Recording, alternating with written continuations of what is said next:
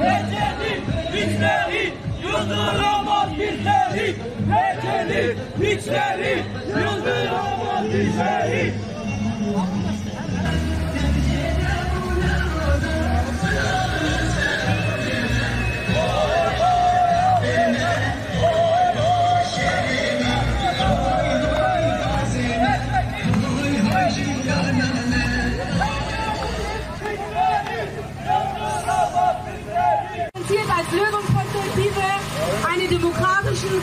Mittleren Osten mit gleichberechtigten Völkern.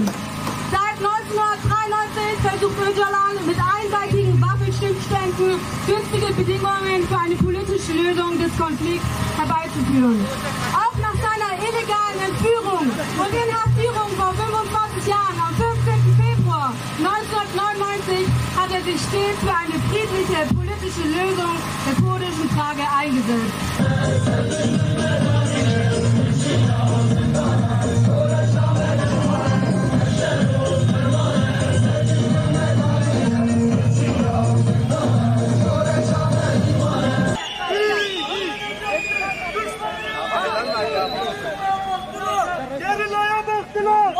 Ucuz sandılar. Onları ucuz sandılar. Silah sabra aldılar. Silah silah silah.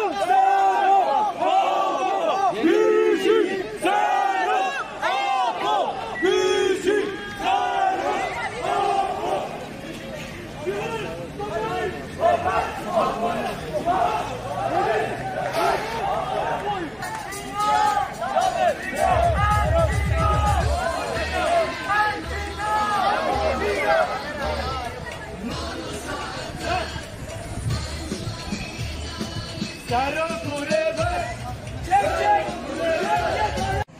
Öcalan wird von Kurdinnen und Kurden als ihr politischer Repräsentant angesehen.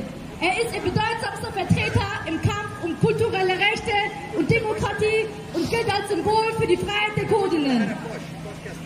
Seit 1993 versucht Öcalan mit einem einseitigen Waffenstillständen günstigere Bedingungen für eine politische Lösung des Konflikts herbeizuführen.